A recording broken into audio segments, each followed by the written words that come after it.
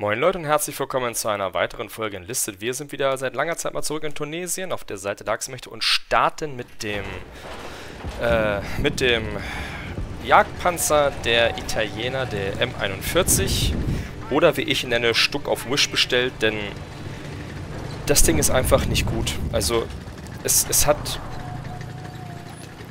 es hat gegen, Amerika äh, gegen alliierte Panzer keine Chance. Also du kannst gerade mal so ein M1, äh, hier so ein M1 Grunt ans Bein pissen, wenn der keinen Bock hat. Und äh, Sherman 2, da machst du gar nichts. Und ja, einen guten Crusader kannst du aufs Core nehmen, aber. Und Tetrach, aber die kannst du auch mit allen anderen Sachen aufs Core nehmen halt. Also MK2 halt, ne? Das ist halt Tetrach. Ja. Und ansonsten hat das Ding auch kein MG, sondern das geht halt nur auf diese Art und Weise. Und hier verglitscht ist das hier auch noch. Und ich achte gleich auf Aber okay.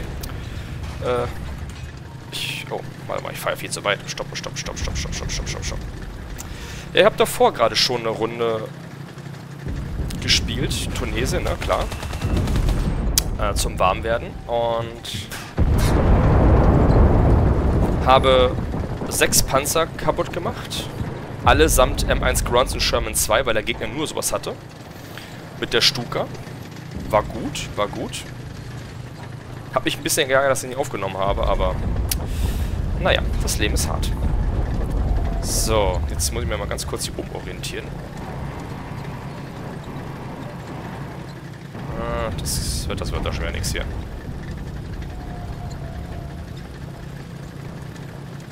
Oha, oha, da oben. Da könnte man mal hinschießen.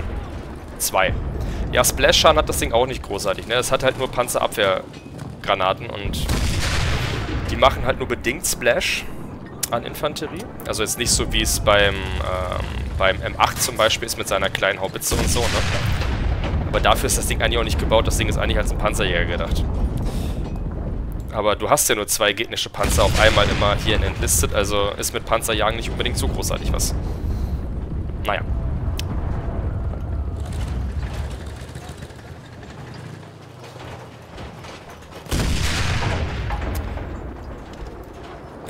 Die waren schon hinüber. Okay. So, ich brauche eine andere Position. Ich bin viel zu nah dran an der Infanterie.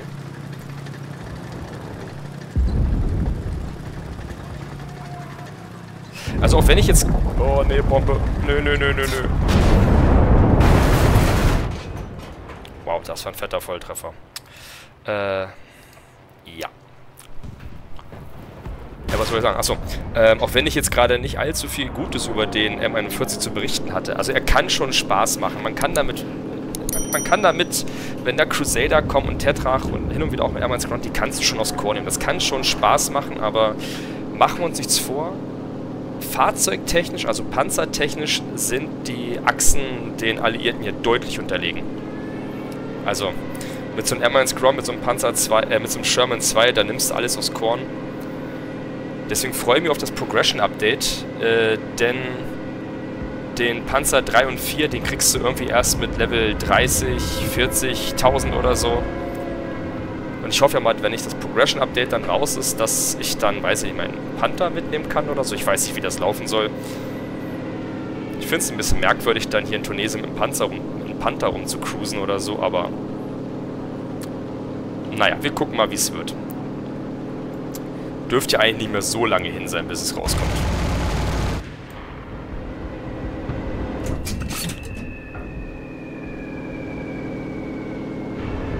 Immerhin. Aber immerhin kriegst du damit einen M1 Grunt kaputt. Aber, ähm, ein bisschen habe ich auch Schiss, wenn das Update rauskommt, dieses Progression-Update, weil ich echt befürchte, dass das voll in die Hose geht.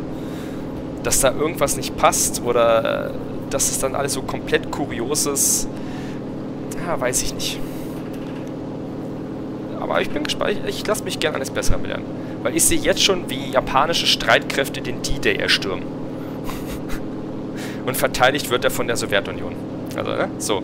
Da, das, das, das kann das sehe ich schon.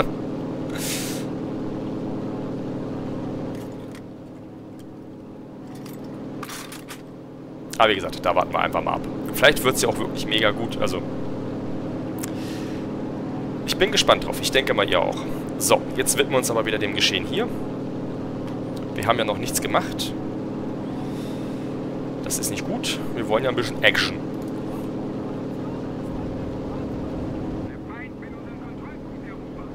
Gut, das hat schon wieder nicht funktioniert, dass hier jemand mal sagt, wo man die Bomben abwerfen soll. Äh gut, ich glaube nicht, dass ich die dahin werfen will. Das ergibt für mich keinen Sinn. Oha, er schießt. Au, au. Nicht meine Karten.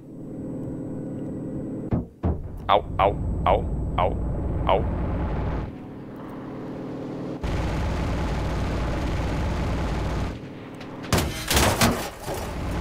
Nein, nein. Ja, okay, sehr gut.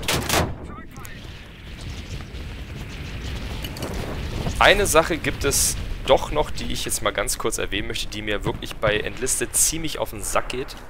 Das ist, dass ich nicht von den Piloten in die Heckschützenansicht wechseln kann, wie man es bei War Thunder zum Beispiel machen kann. Für die, die jetzt War Thunder nicht gespielt haben, wenn ihr im Flugzeug unterwegs seid, könnt ihr zwischen den einzelnen Schützen wechseln. Müsst natürlich aufpassen, wo ihr hinfliegt, ne? Ist klar. Also ihr könnt ja nicht ein Sturzflug sein und dann in Heckschützen spielen. Gibt kein Autopilot. Denn die, ähm, denn der, der, der Heckschütze, den ihr habt, also ich spiele War Thunder jetzt seit Oktober letzten Jahres und ich habe erst einmal gesehen, dass mein Heckschütze ein feindliches Flugzeug abgeschossen hat. Und ich glaube auch nur, dass das an Altersschwäche gestorben ist und abgestürzt war. Aua. Also da würde ich mir wirklich wünschen, dass man selber die Kontrolle über den Heckschützen nehmen kann. Wie gesagt, kein Autopilot, also das Ding musst du halt noch selber irgendwo halt geradeaus fliegen oder so. Das würde ich mir noch wünschen. Das wäre ein super cooles Feature, was ich feiern würde.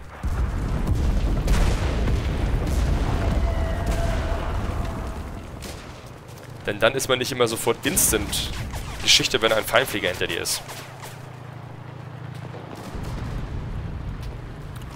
Immer ein Gewehr. Oh, das sieht schmerzhaft aus.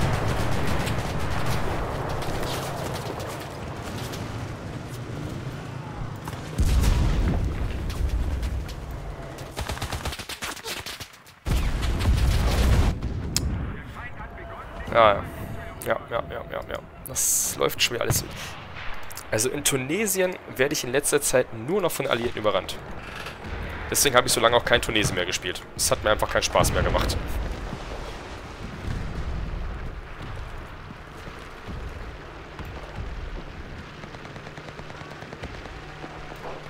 Ja.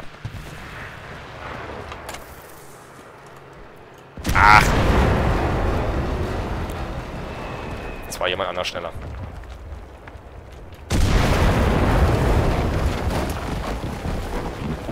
Ähm.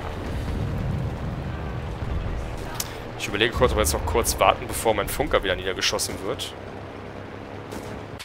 Bevor wir uns da jetzt ins Getümmel stürzen.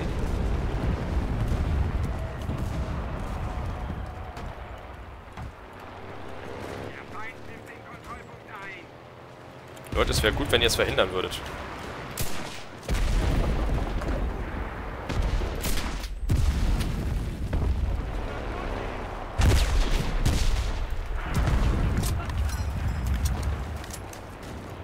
Ach du Heilige, was ist denn hier kaputt? Das könnt ihr aber nicht so stehen lassen. Das geht nicht.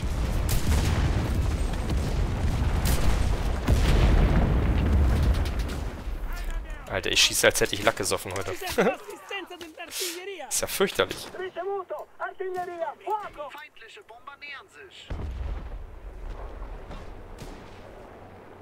Der ist schon kaputt. Hat irgendjemand draufgeschossen. Ich war es nicht.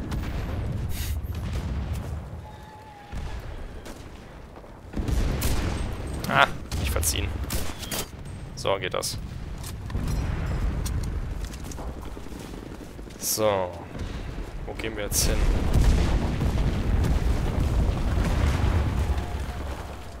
Sauber, meine Artillerie ging wieder komplett ins Leere.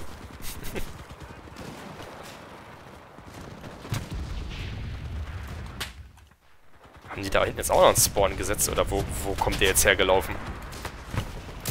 Ah, verschossen. Das ist schlecht. Genau, gib auf. Habe ich nicht aufgegeben. Er hat ganz und gar nicht aufgegeben. Nein. Das war frech.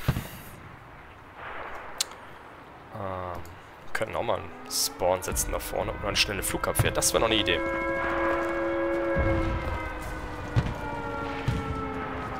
Von wo kommen die? Von wo kommen die? Von wo kommen die? Ah, das schaffen wir nicht mehr. Oder?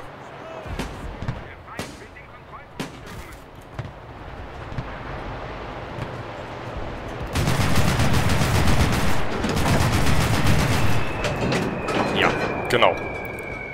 Einmal mal all vorbeigeschossen.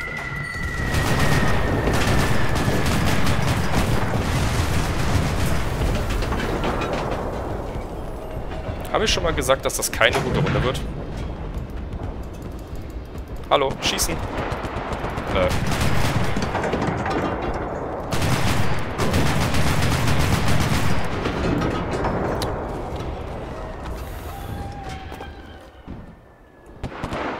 Ja. Ähm, das lief jetzt nicht so doll.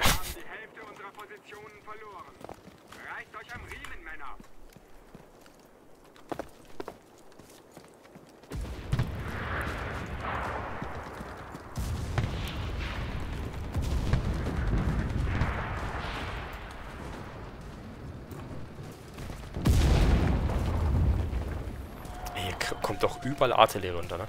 Da könnte man da oben eine, eine Pack positionieren. Das könnte vielleicht was werden.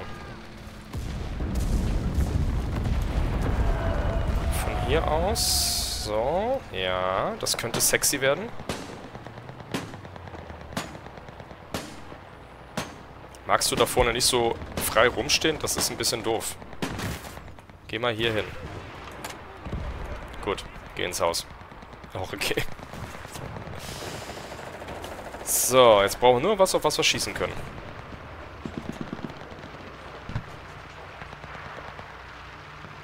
Hm. Leute, hört auf vor meiner Flinte rumzurennen. Dahin.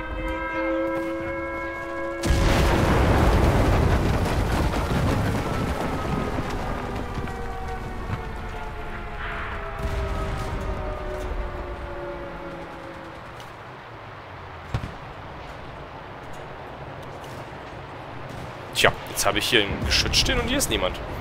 Rechts ist ein Panzer, aber den kann ich nicht erreichen von hier aus. Aber vielleicht kommt er hier vorne lang gefahren, das wäre toll. Ich habe so, das, hab so das Gefühl, dass hinter uns die Party abgeht. Au.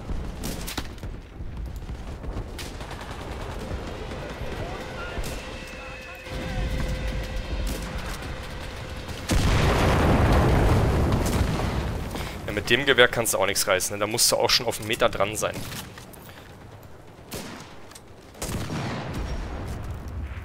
Was hat denn der für eine coole Tarnung? Hey!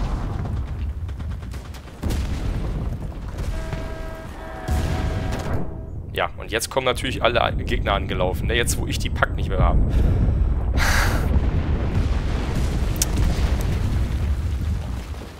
Ich habe keine Lust mehr, ganz ehrlich. Ich habe keine Lust mehr.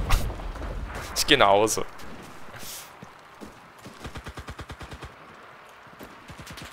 Ach ja, meine Leute sollten vielleicht mitkommen.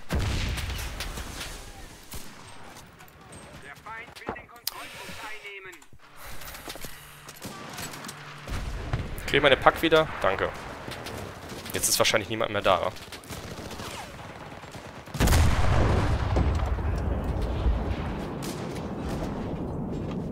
Lad nach.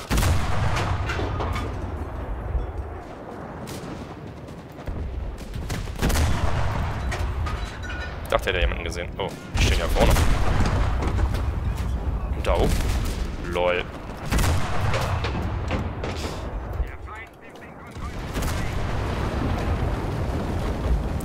Das sind ziemlich stabile Sandsäcke.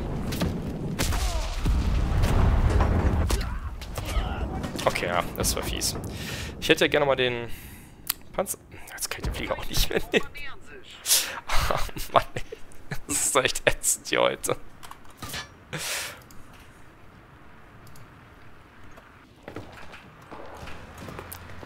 Fällt mir, ich wollte eigentlich einen Spawn setzen, weißt du? Kein geil mehr.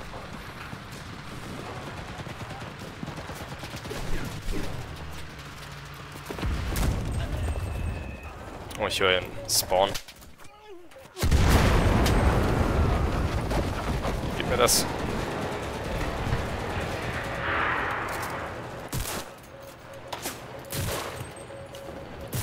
Ach komm. okay. Ja, das, das war jetzt meine Schuld. Ganz, das war ganz klar meine Schuld. Das war dumm.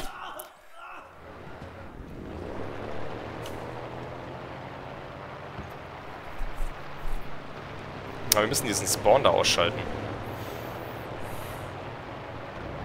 Das ist dieser...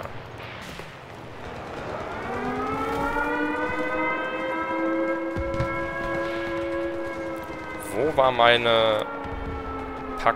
Die ist... Äh, Pack sei schon Flak. Da kommen wir nicht mehr hin.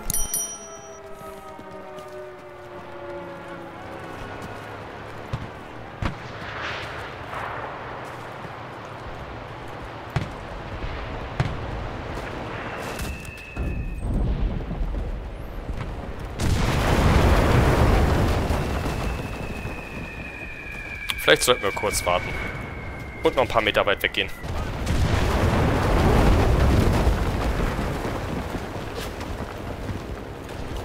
Die stehen da vorne noch, ne?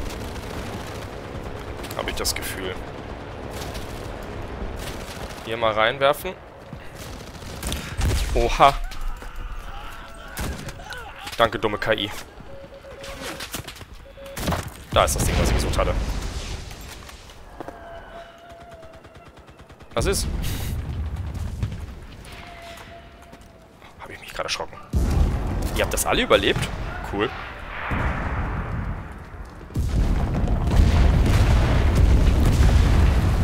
Vielleicht mal einen kurzen Augenblick warten. So, und weiter. Einmal über die Straße rüber.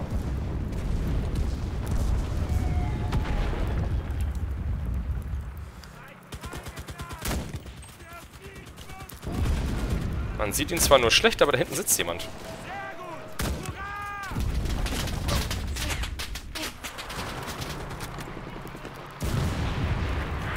Der schon wieder.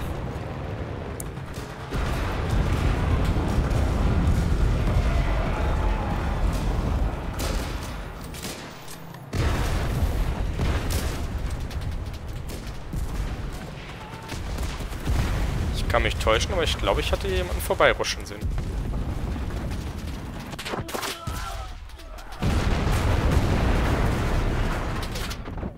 Okay, das, das war jetzt wirklich nichts.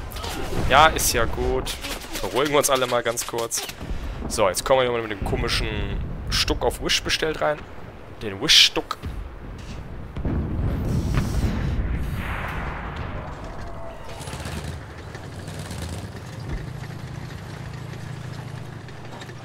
Ist der Entfernung vielleicht?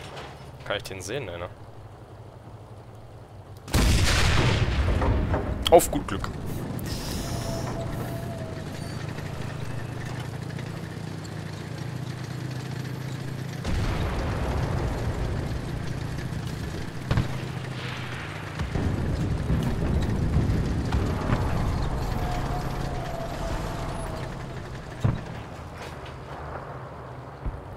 Also diese Optik hier ist auch so oft beeinträchtigt.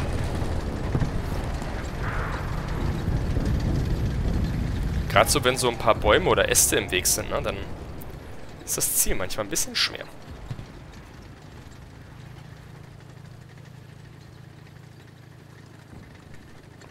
Jetzt ist wieder der äh, Tonbug drin, den ich schon ein paar Mal hatte. ist immer, wenn irgendwo mal so eine laute Explosion kommt, so eine 1000-Pfund-Bombe oder sowas, dann ist der Ton plötzlich um die Hälfte leiser. Und beim nächsten großen Knall, dann ist es halt wieder ganz normal.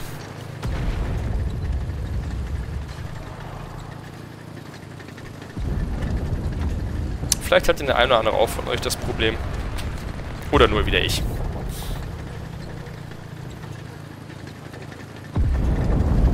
So, bleiben wir mal kurz hier. Obwohl, das ist eine blöde Idee. Die kommen ja von links, ne?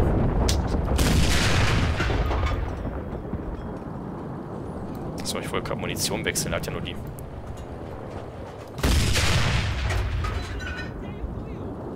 So, die macht kaum Splash. Da oben sitzt was drin.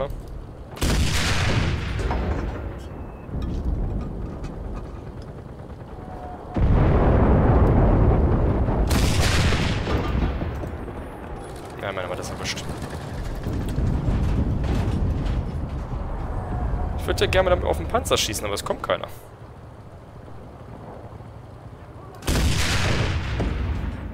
So, so auf mit dem Geschütz da rumzuspielen.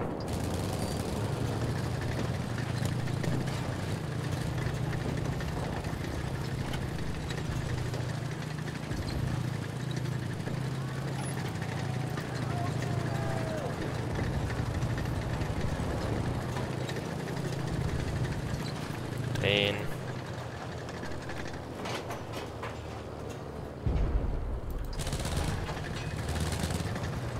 Na, vielleicht mal von der Seite versuchen. Oh, da oben ist vielleicht nicht schlecht. Da sind wir ein gutes Ziel für Bomber.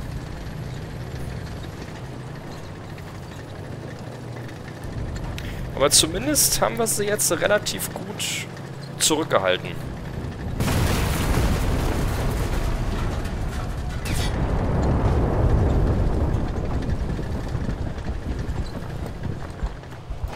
Ne, noch ein Stück drehen. Es kann von diesem Punkt nicht schießen, das ist ja blöd. Äh, kann ich dir geben? Da zum Beispiel ist ein... Ne. Wow, ich habe ihn gewone-shot. Ich sage ja, hin und wieder kann man auch mal einen Gegner one-shotten, ne? Das geht halt auch mit dem. Aber halt, das ist... Äh, es ist kein cooler Panzer, wenn man die anderen alle mal gespielt hat, so, ne? Wenn du so Panzer 4, T34, meinetwegen M4, eine Su-85 oder so, ne? Aber wenn ihr mal eine gute Stelle habt, so wie die jetzt hier oben, dann kann man damit auf jeden Fall Spaß haben. Das war jetzt ein bisschen sehr weit weg. Ach, der wollte hier irgendwo mal, okay.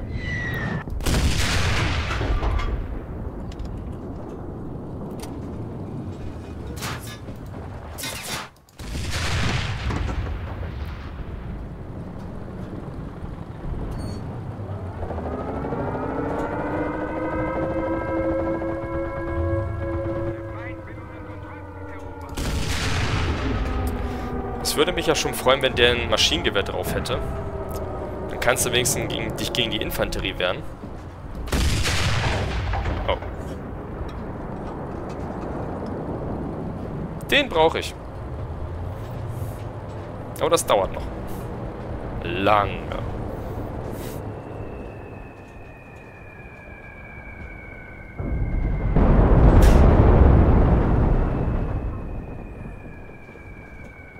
Wie viele Bomber kommen denn jetzt gerade hier entlang?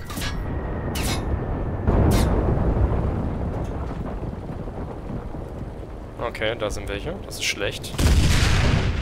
Denn ich kann gegen die nichts ausrichten. Außer...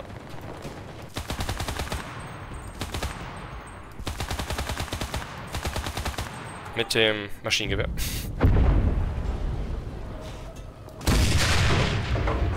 Ich habe so das Gefühl, der rennt jetzt ums Haus rum und will mich von hinten attackieren. Das wäre natürlich schlecht. Ach komm.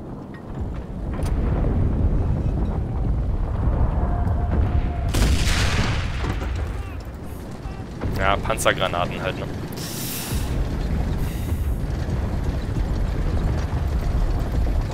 Aber immerhin konnte ich euch einmal zeigen, dass man sich halt auch mit einem M1 Grunt jetzt anlegen kann.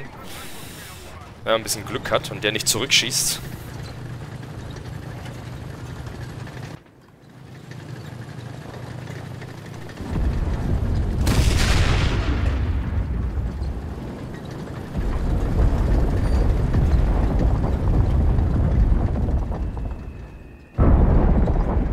Ja.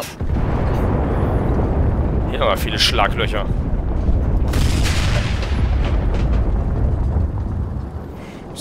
So, ich würde sagen, die haben wir gut im Sack.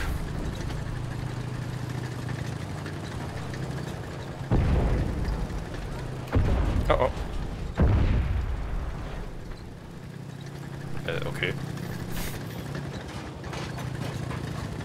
Ist hier gar nichts mehr. Ich bin mal aufs Endergebnis gespannt, weil ich das jetzt überhaupt nicht einschätzen kann, ob das jetzt eine gute Runde war oder nicht.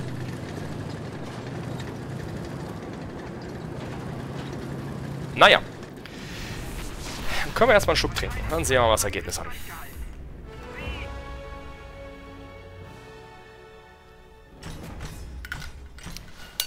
Okay, 14.000 Punkte.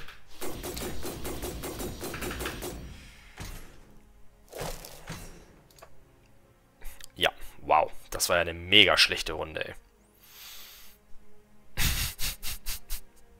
Aber ihr habt es ja gesehen, ne? Also, ich habe mich bemüht. Ich habe mich bemüht. Und äh, es lief halt überhaupt nichts zusammen. Aber generell sind sehr viele Punkte gefallen, ne? Hier, er... Wenn ich diesen Namen alleine schon lese, ne, kriege ich einen Anfall. Das, das grundsätzlich, dass, dass die halt keinen Filter haben, dass du solche Namen halt nicht verwenden kannst, ne? Na naja, gut. Anderes Thema. Äh, ja, punktetechnisch haben wir alle wirklich sehr viele Punkte. Okay, bei denen waren es ein paar, die haben noch nicht so viele Punkte geholt. Naja, was soll's. Okay. Ähm, ja, wenn es euch gefallen hat, lasst doch gerne einen Daumen nach oben da, würde mich sehr darüber freuen. Und ähm, hoffe, dass ihr auch beim nächsten Video mit dabei seid. Also bis dahin, macht es gut. Ciao.